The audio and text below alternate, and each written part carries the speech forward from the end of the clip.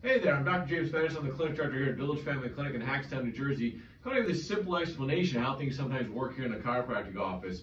One of the easiest explanations to give people is a safety pin. Uh, so look at the safety pin. If you imagine this is your brain up top here, and this is the rest of your body here, the nerves send messages down to the brain, through the spinal cord, through the nerves, every cell, tissue, organ in the body.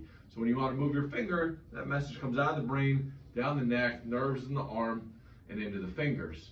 Now we all know if we touch a burning stove, we're going to move our hand off pretty quick. And how that works is the other side safety pin. So you feel something in the finger, sends a message back up to the brain, tells you, hey, that's hot. The brain sends a message back down, says move the finger. And all that happens really fast. So every cell, tissue, and organ is constantly doing this, sending feedback back and forth to the brain.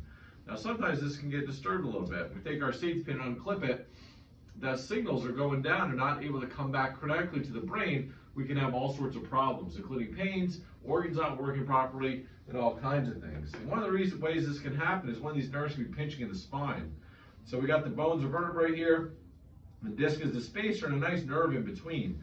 We have stress, trauma, injury, sometimes these bones come out of place and they can pinch that nerve.